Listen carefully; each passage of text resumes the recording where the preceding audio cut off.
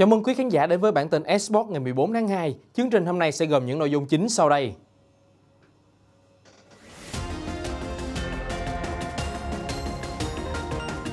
Vòng 21 La Liga, Real Sociedad tìm lại niềm vui chiến thắng.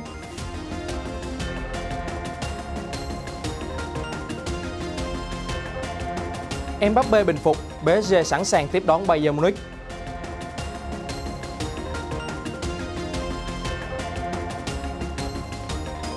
Câu lạc bộ Thành phố Hồ Chí Minh gây thất vọng lớn ở vòng 3 V-League.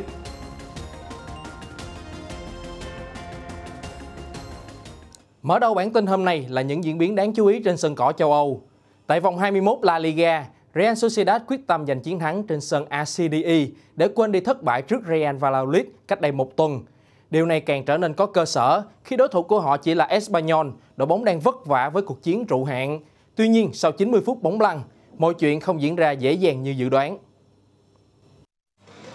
Hành quân đến sân RCDE trong khuôn khổ trận đấu muộn của vòng 21. Real Sociedad cho thấy vị thế của đội bóng cửa trên khi liên tục dồn ép đội chủ nhà Espanyol và lợi điểm dẫn trước đã sớm đến với thầy trò Imanol Alguacil ở phút thi đấu thứ 23 khi Takefusa Kubo tung cú sút hiểm hóc để mở tỷ số của trận đấu. Sang đầu hiệp 2, tiền đạo chủ lực Alexander Solot nhận đôi cách biệt dành cho La Real với tình huống di chuyển thông minh và đệm bóng cẩn thận. Chưa dừng lại ở đó, chỉ khoảng hơn 10 phút sau, lưới của đội bóng xứ Catalan lại rung lên lần thứ ba. Lần này, bàn thắng đến sau pha phản lưới nhà của hậu vệ Leandro Cabrera. Lợi thế quá lớn đã khiến Real Sociedad chơi lơ là ở 15 phút cuối trận. Và đó là tiền đề để Sergi Dada và các đồng đội đưa ra những câu trả lời. Chính tiền vệ 29 tuổi là người ghi bàn gỡ đầu tiên dành cho đội chủ nhà với pha dứt điểm cận thành. Đến phút 87, Ryan Olivan rút ngắn cách biệt xuống một bàn sau pha đi bóng và dứt điểm gọn gàng. Thời gian còn lại là không đủ để Espanyol có thể tạo nên điều bất ngờ. Chung cuộc, Real Sociedad giành thắng lợi 3-2 và vững vàng vị trí trong top 3. Derby Merseyside luôn là trận đấu chất chứa sự kịch tính và hấp dẫn. Nhưng trận cầu giữa Liverpool và Everton vào đêm qua đã không duy trì được điều đó khi đội chủ sân Anfield tỏ ra hoàn toàn vượt trội và tạo ra thế trận tấn công vũ bão.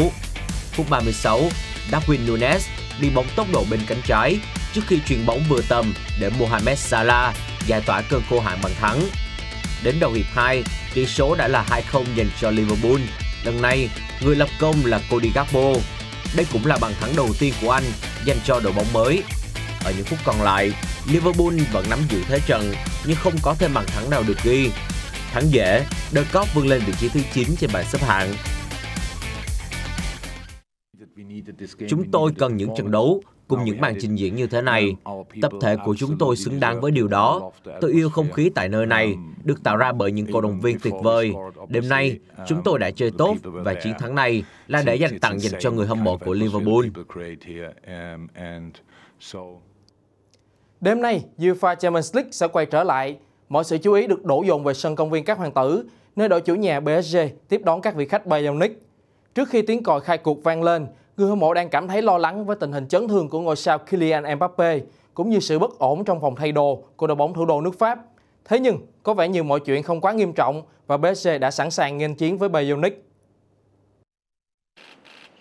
Sau những lần lỡ hẹn liên tiếp tại đấu trường UEFA Champions League, đội quân tinh nhuệ của PSG đặt rất nhiều quyết tâm ở mùa giải này. Tuy vậy, họ sẽ cần phải giải quyết bài toán mang tên Bayern Munich ở ngay vòng loại trực tiếp đầu tiên. Với tính chất quan trọng của trận tứ hùng này, tập thể của Gantier tỏ ra rất tập trung và quyết tâm cao độ. Tin vui đã đến với đương kim vô địch Ligue 1 khi bộ đôi siêu sao Lionel Messi và Kylian Mbappe đã trở lại tập luyện sau chấn thương. Hồi cuối tuần vừa rồi, PSG tung ra đội hình dự bị ở trận đấu với Monaco. Vậy nên, ở màn đỏ sức tại Paris de Prince vào đêm nay, họ gần như sẽ có được đội hình ưng ý cùng thể trạng lý tưởng nhất. Trong tổng cộng 11 lần gặp nhau tại UEFA Champions League, PSG tháng 6. Ở lần gặp nhau gần nhất vào mùa 2020-2021, Kylian Mbappe và các đồng đội đã vượt qua hùng xám xứ Bavaria bằng luật bàn thắng sân khách. Do đó, huấn luyện viên Gantier có lý do để cảm thấy tự tin. Đây là đấu trường Champions League và đội bóng của tôi đã quá quen với những trận cầu như thế này. Dù kết quả trận đấu như thế nào thì cũng chưa chắc đội nào sẽ đi tiếp. Tỷ lệ là 50-50. Dù Bayern Munich chưa có được phong độ cao sau World Cup, nhưng họ đang có những màn trở lại vô cùng mạnh mẽ. Dù chúng tôi đang không có được phong độ cao, nhưng tôi đang sở hữu một đội hình đủ dày và đủ chinh chiến ở những trận cầu sắp tới. Bên kia chiến tuyến, đoàn quân của Julian Nagelsmann đang có được điểm rơi phong độ rất ấn tượng.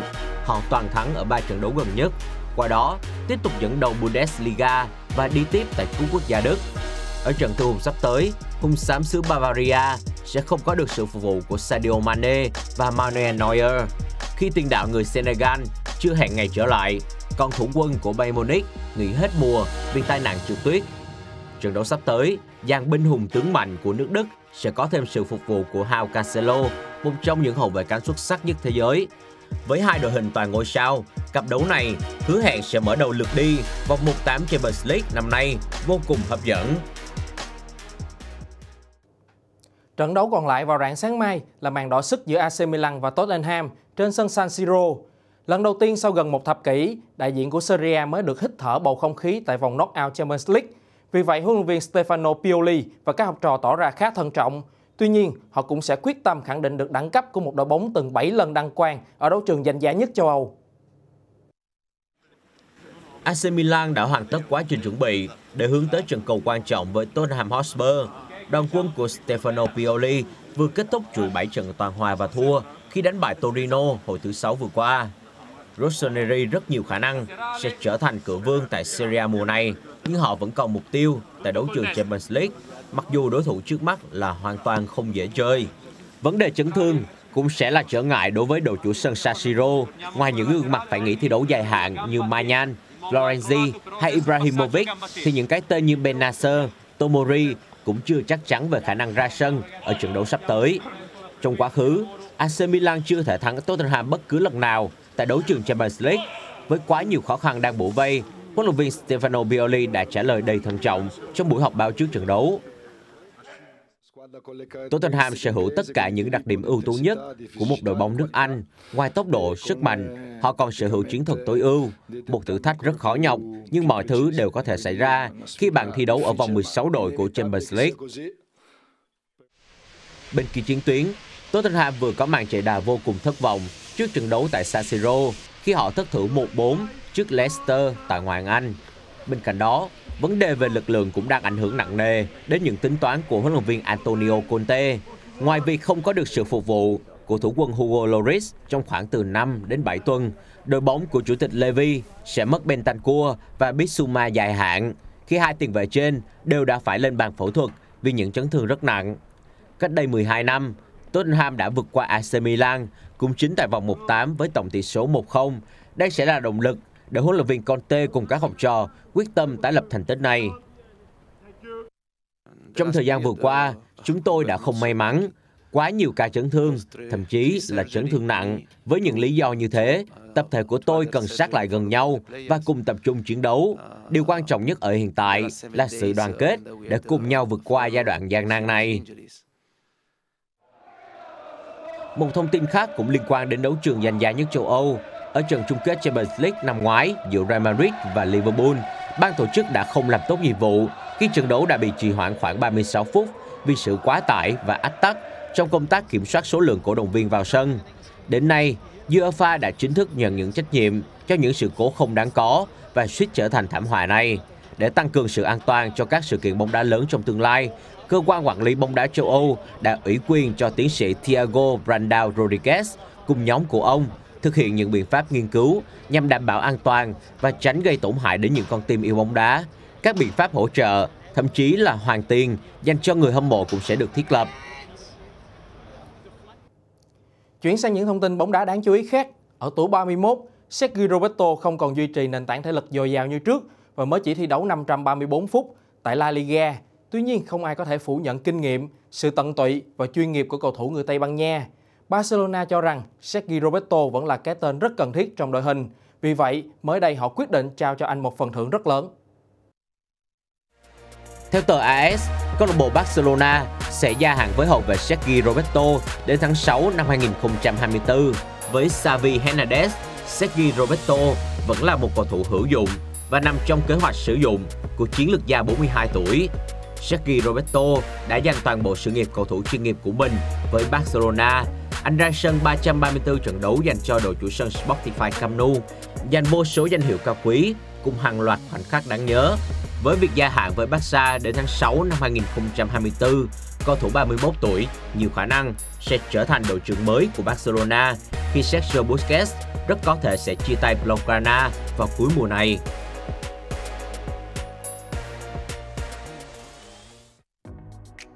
Theo Football Espanya, câu lạc bộ Atlético Madrid nhiều khả năng sẽ bán Đức Joao Felix sau khi bản hợp đồng cho mượn của anh tới Chelsea kết thúc. Tương lai của Joao Felix tại Civitas Metropolitano đang ngày càng khép lại khi Los Colchoneros không còn quá mặn mà với việc giữ cầu thủ người Bồ Đào Nha ở lại. Với sự hòa nhập khá nhanh vừa qua tại Chelsea, Joao Felix cũng đang nhận được sự tín nhiệm tại sân Stamford Bridge. Chelsea được cho rằng sẽ tiếp tục chi tiền để chính thức sở hữu sao trẻ này. Theo một báo cáo từ Relevo, nếu The Blue đáp ứng được mức giá 100 triệu euro mà Los Rojiblancos đưa ra, thương vụ này sẽ được hoàn tất và Felix sẽ là người của câu lạc bộ thành London.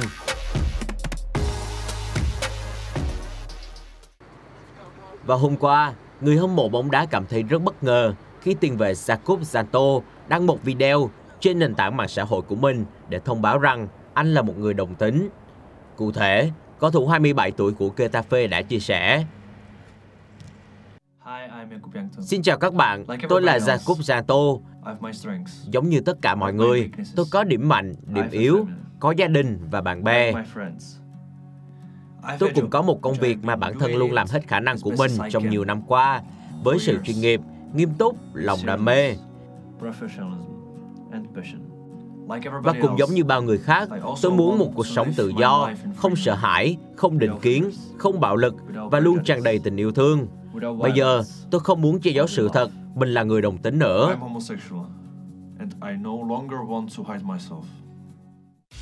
Theo Marca, Santo là cầu thủ đầu tiên ở La Liga công khai rằng mình là người đồng tính. Hành động này của anh đã truyền cảm hứng đến nhiều cầu thủ khác đang chơi bóng tại Tây Ban Nha. Vì vậy, sau khi đoạn video được công bố, hàng loạt đội bóng như Getafe, Juventus, Osasuna và cả ban tổ chức Premier League đã gửi lời động viên đến cầu thủ người Cộng hòa Séc.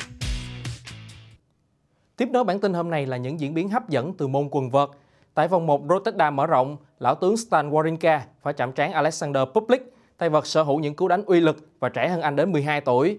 Do đó, không có gì bất ngờ khi Wawrinka phải tốn khá nhiều sức lực ngay ở trận đấu đầu tiên của giải.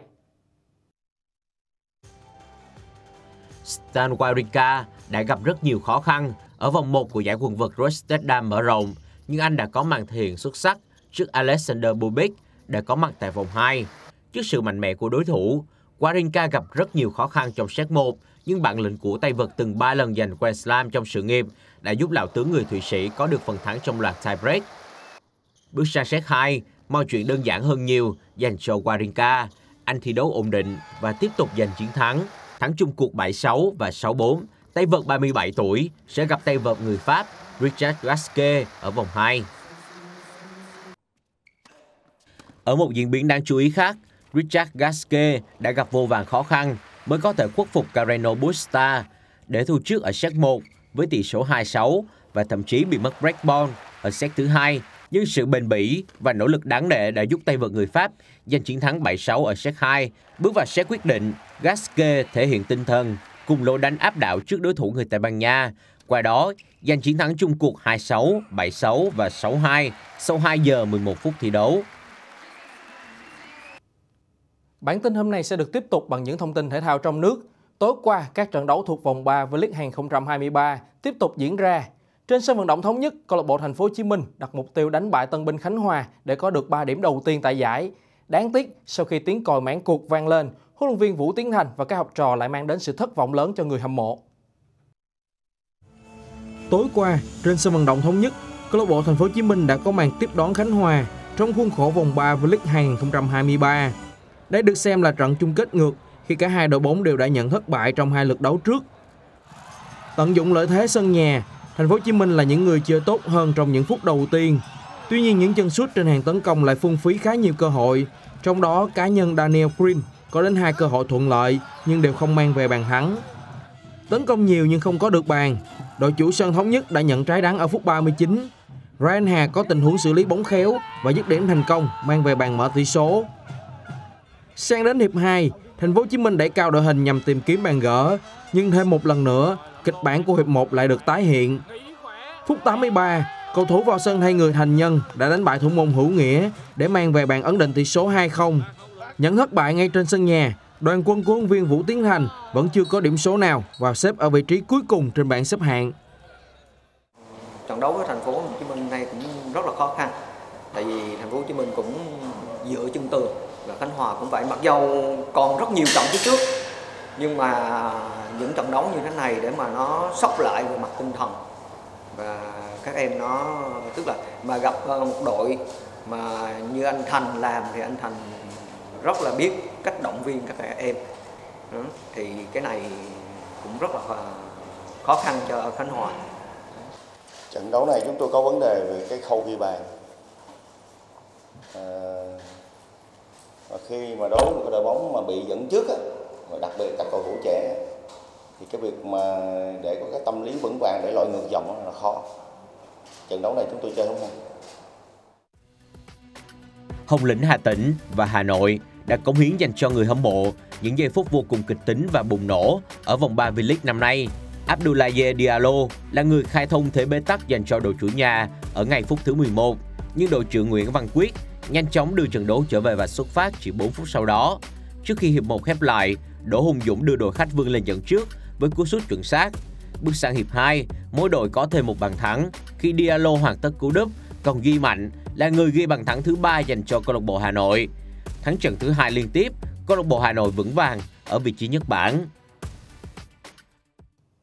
Những thông tin về V-League 2023 vừa rồi cũng đã khép lại bản tin Esports ngày 14 tháng 2. Cảm ơn quý vị khán giả đã quan tâm theo dõi. Thân ái chào tạm biệt và hẹn lại quý vị và các bạn trong bản tin vào ngày mai của chúng tôi.